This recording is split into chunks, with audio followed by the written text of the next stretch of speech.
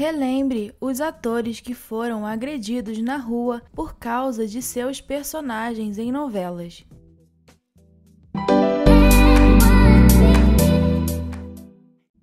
Regiane Alves Regiane viveu um papel polêmico em Mulheres Apaixonadas. Caduco, ranzinza, cego, velho, surdo.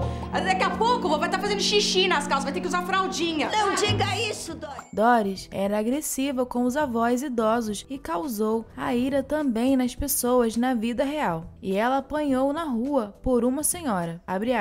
Ela começou a bater com o jornal em mim. Outra vez, uma senhora fez questão de dizer que a mãe dela, que sofre de pressão alta, passa mal quando assiste às cenas de Doris. É muito estranho esse ódio. Incomoda porque a agressão existe e é escondida, mas eu tiro vantagem do sucesso da personagem. Fecha aspas, disse a atriz. Mesmo com o povo expressando raiva, a vilã que maltratava os avós se tornou um dos principais trabalhos da carreira da atriz.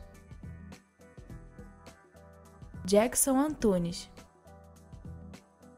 o ator foi parar no hospital após ser agredido por causa do personagem Leonardo, o marido violento de A Favorita. É mesmo que eu sou Catarina?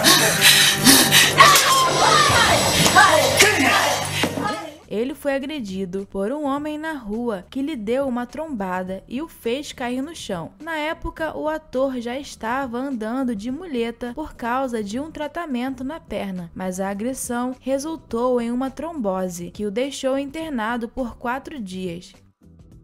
Quando terminou a novela, eu entrei numa depressão profunda e passei dois anos sem sair de casa. A violência, a brutalidade me fez tanto mal. Eu fico pensando o que a violência pode fazer na vida real. Marieta Severo Marieta já passou por isso também, porém não foi com a sua vilã mais recente, Sofia, de O Outro Lado do Paraíso, ou a alma de Laços de Família que ela mais sofreu. Em 66, quando viveu a vilã de O Sheik de Agadir, ela acabou levando, pasme, uma pedrada por causa das maldades da personagem. Débora Seco. Débora era espivetada Iris em laços de família. Deixa a Camila em paz. Deixa ela seguir o caminho dela junto com o Edu. Eles não vão ser felizes. Esse romance não vai durar. Em entrevista para o jornal Folha de São Paulo, ela contou: Levei uma bolsada no supermercado. Tentei explicar que Iris era só ficção, mas não funcionou. Emílio Dantas o ator viveu um personagem que era odiado pelos telespectadores, o traficante Rubinho, de A Força do Querer. Vamos desenrolar isso aí. Negativo. Você tá preso. É só um milhão. Um milhão para cada um. Em entrevista para o TV Fama na época, o ator contou o sucesso da novela nas ruas. Vou te falar que está muito bacana essa repercussão, apesar que está gerando muito ódio. Toda vez que saio na rua, tomo um tapa. Tenho levado uns tapas no ombro, apanhado de umas senhorinhas e levado uns puxões de orelha por conta do personagem. Dan Stubach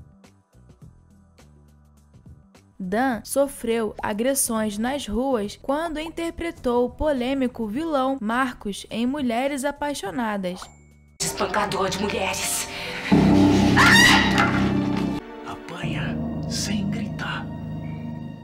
Abre aspas. Levei beliscões, guarda-chuvadas de senhoras nas ruas, não me atendiam nos restaurantes, mudavam de calçadas e não sentavam ao meu lado no avião. Fecha aspas. No fim da novela, ele tinha até segurança na porta de casa. Então é isso, vocês sabiam que esses atores haviam sofrido algum tipo de agressão nas ruas por conta de seus personagens polêmicos? Me diga nos comentários. Não esqueça de avaliar o vídeo e se inscrever no canal.